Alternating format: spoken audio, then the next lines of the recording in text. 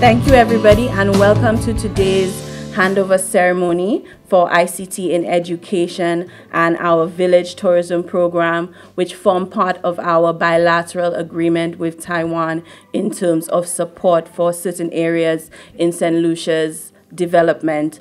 I would like to start by inviting our ambassador to give an overview of the donation that is taking place today, followed by presentations by the various entities. Ambassador? First of all, I want to express my sincere appreciation for uh, Prime Minister and Cabinet Secretary uh, joined us uh, last week in our uh, National Day uh, reception.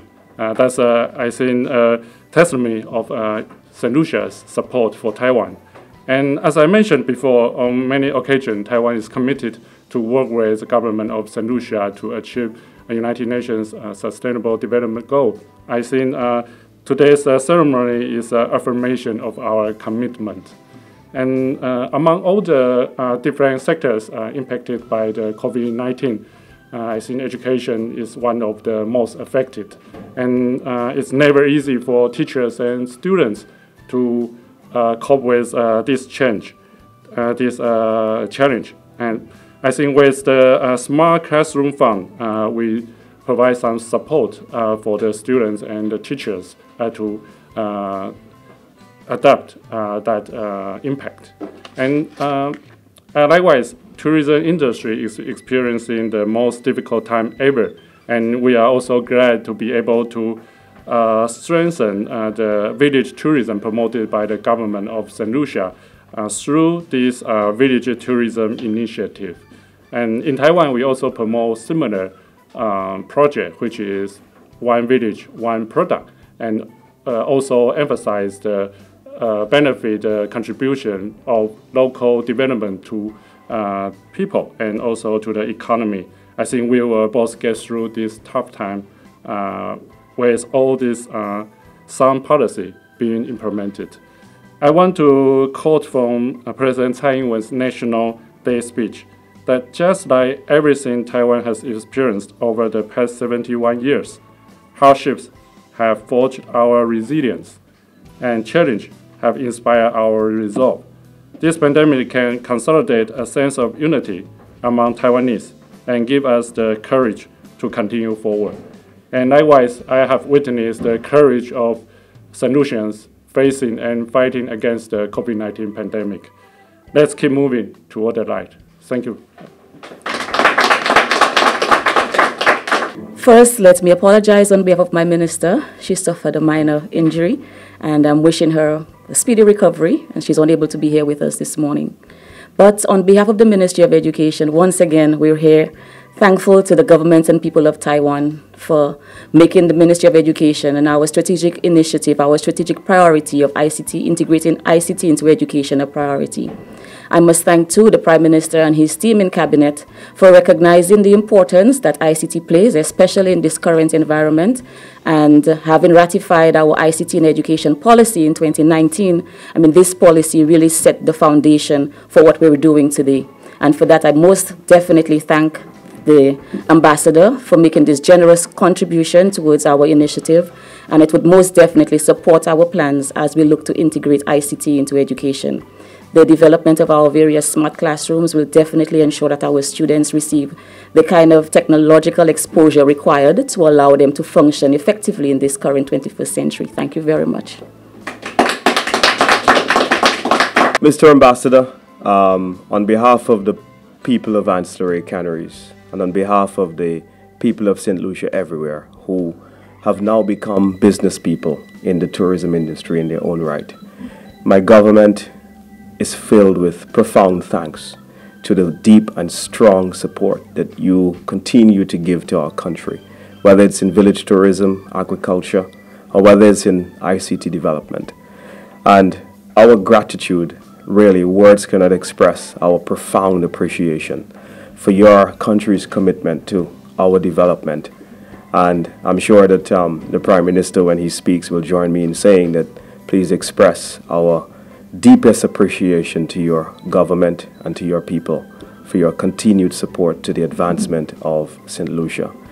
Um, the village tourism project is one that is going to revolutionize the industry in St. Lucia. In that, what it does, it revolutionizes the product. Um, it gives people more diversity in the places that they can stay. Um, and then it also provides an opportunity for small business people in St. Lucia to be able to provide that service. What we've had to do is to um, look at the issues, the gaps, and I want to thank the Prime Minister for his vision. Um, in first of all, reimagining our cooperation agreement, we sat, um, I think it was a year or two ago, and said that um, while a lot of our cooperation agreement tended to go in areas um, of infrastructure, that maybe it can have a, a bigger bang and impact if we also invested in the sporting infrastructure and the tourism infrastructure of the country, which is the engine of growth of our economy.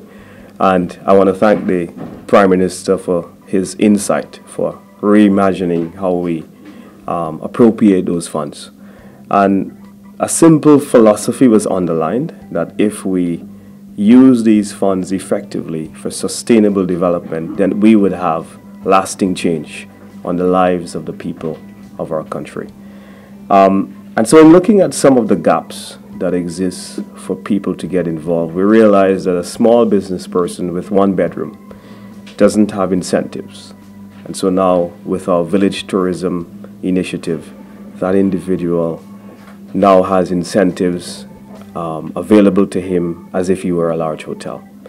We look at the fact that a lot of small businesses have challenges in um, accessing credit from lending institutions.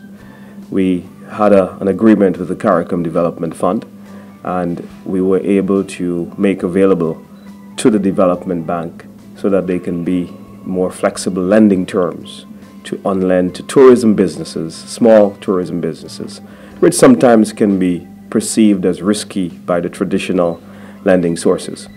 But more importantly is the wide array of technical assistance that we will be giving to these small businesses and the setting up of an entity that will be able to execute management services across the spectrum from interior design to um, HR development, marketing support, reservation management, and all the um, needs that are required to run a successful hotel today. Is now going to be made easier for small tourism businesses uh, to be able to get that support from the overarching body, Village Tourism Incorporated. So um, I am very elated with what's happening and your contribution, no doubt, is going to add significant value. And I have nothing but thanks um, to say today. So thank you, um, and thanks to your people and your country again. Thank you. It gives me great pleasure once again to stand here as we focus on the development and the building of a new St. Lucia. To see the contribution that Taiwan continues to make in terms of the realization of the full development plan for St. Lucia. While we've come under heavy criticism sometimes over our approach towards um, ICT in schools, for example, while some people felt that just a computer or a laptop handed over to a student would accomplish what we need in the technology that is required, we have a completely different vision where it is the equipping of the schools and the students alike that would meet this objective. And not just the equipping of the device, but of the curriculum and all of the other material that comes with it.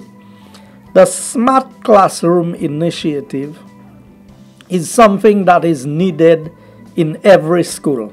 And I think the contribution today of about just a little over 5 million EC dollars would go a long way in helping the Ministry of Education to better prepare the schools to have the type of smart classrooms that are required, more so to help in the initiative of having to do a lot of instructions online, students now having to do exams via the computer rather than necessarily being invigilated in a, a setting where it's paper exams that are being done.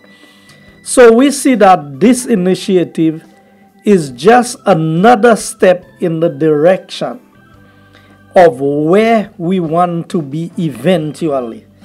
And while some people speak about smart city, our focus is that of a smart country. Because we need every sector of St. Lucia to be able to have access to technology, whether in the schools, in the business places. I expect eventually even our market vendors would be able to use the technology to their advantage to advertise their products so that even before I go to the market, I can know what product is available for sale at the market. And, and that is what technology affords. Having smart classrooms and allowing our children to be exposed at the earliest stage in their development and education would help us to realize this. Also, village tourism, as was indicated um, in our plans, that the intention is to start with three of the villages as models to be replicated, not in the exact manner, but in terms of the uniqueness of each of the villages in St. Lucia so that when a visitor comes to St. Lucia, the experience they will have in Anse La Raye would be different from what they have in Gros And because they've been to Gros would not mean that they have experienced everything there is in St. Lucia. They would have a different experience in Choiseul and Laborie and Micoud. And, and that is the idea of village tourism really adding to the value of the experience of a visitor in St. Lucia. So it will go beyond just visiting the pitons and the sulfur springs, but it would be being able to spend a night or two in one of these villages where the facilities, the accommodation, and everything is up to standard. So I applaud the, the Prime Minister and the Minister of Tourism for the vision that has been laid out for us as a country and to inspire the people of St. Lucia to begin to believe that we can do much better than where we are today.